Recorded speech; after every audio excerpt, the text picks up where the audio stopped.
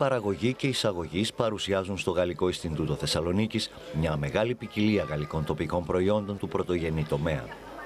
Κρασιά, βότανα, μυρωδικά, τυριά, κρέατα και αλαντικά από διαφορετικές περιοχές της Γαλλίας εκτίθενται προς δοκιμή και πώληση όχι μόνο στους ουρανίσκους εκείνους που είναι εξοικειωμένοι στη γαλλική κουζίνα, αλλά και σε αυτούς που θέλουν να διευρύνουν τους γαστριμαργικούς τους ορίζοντες σε άγνωστες μέχρι σήμερα γεύσεις. 200 και ποικιλίες από όλες τις χώρες παραγωγής του κόσμου και ελληνικά βότανα και τσάγια υγείας και αντικείμενα σχετικά με το τσάι. Συνήθως λένε οι Έλληνες τουλάχιστον ότι τα ελληνικά προϊόντα, τα ελληνικά τσάκια στα ελληνικά βουνά είναι τα καλύτερα του κόσμου. Εσείς τι λέτε γι' αυτό; Όταν τα ελληνικά είναι εξαιρετικά.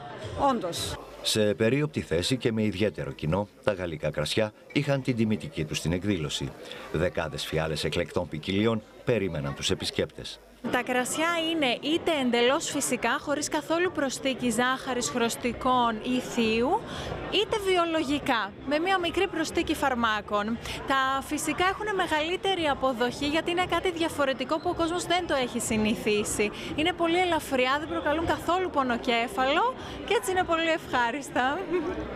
Ο κόσμος κατέκλυσε τους χώρους του Ινστιτούτου είτε για μια πρώτη γνωριμία με τα γαλλικά προϊόντα, είτε γιατί ήδη τα γνώριζε, αλλά αδυνατούσε να τα βρει στις αγορές. Δεν τα γνωρίζει τα γαλλικά προϊόντα και καλά είναι, καλό είναι να τα μάθει.